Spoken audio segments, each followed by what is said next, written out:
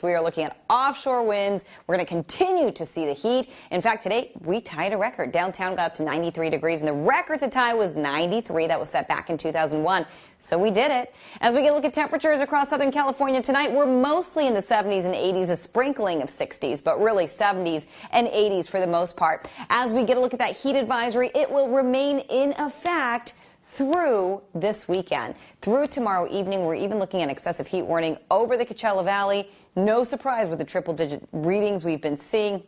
That will remain in effect through Sunday. As we get a look at the rest of our forecast right here, wind continues to be a bit of a concern. Offshore conditions as we move into the next couple of days, but below advisory level conditions. Temperatures tomorrow still hitting the 90s, still getting to the triple digits in the Coachella Valley, but really 90s with some 80s in the mix as well. And as we get a look at my extended forecast, beaches, basin, valleys in the 90s and the 80s getting a little cooler in the beginning of the work week and then bumping temperatures right back up again. And as we get a look at one more seven day forecast, same thing goes for the IE high desert in the mountains. We are expecting to see that heat really stick with us on and off for the next seven days, but really just on.